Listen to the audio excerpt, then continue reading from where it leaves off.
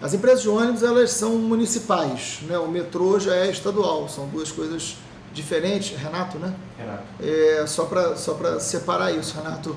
Eu acho que é, é mais do que cobrar meta da empresa de ônibus, né? você tem que cobrar tudo porque você não tem planilha, você não tem controle. O poder público municipal não tem nenhum controle. Assim, é qual é o custo de uma empresa de ônibus da linha tal? Por que, que a passagem de ônibus custa o que custa? Baseado em que, em que valor? Baseado em que planejamento? Em que planilha? Quem produz a planilha é a própria empresa. O poder público não tem nenhum mecanismo de controle sobre essas empresas. Então não é só a meta. Eu também acho que tem que ter meta de, de qualidade, etc. e tal é, sobre essas empresas, até porque é uma concessão, mas tem que ter um controle, isso tem que servir ao poder público.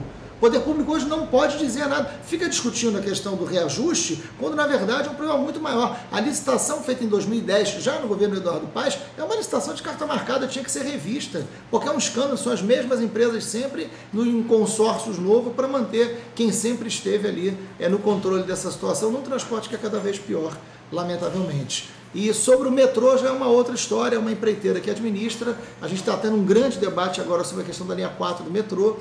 O governo do estado insiste para agradar os seus sócios, a empreiteira que tem aquela gestão, de fazer a linha 4, o prolongamento da linha 1, quando evidentemente não é o que deveria ser feito. O projeto original do metrô diz claramente que a linha 4 poderia seguir para ter um formato de rede. A linha 4 do metrô deveria ser é, é, não, não um prolongamento da linha 1 para, para a Barra, mas poderia sair da Barra através de uma, de uma estação de dois andares na Gávea e seguir pelo Jardim Botânico Maitá, né, para poder chegar até o centro, fazendo pela primeira vez uma situação de rede no metrô. Mas não, eles vão insistir numa linha única, sobreposta, e que, evidente, um metrô que já está saturado, vai aumentar o fluxo de pessoas e vai ficar pior ainda.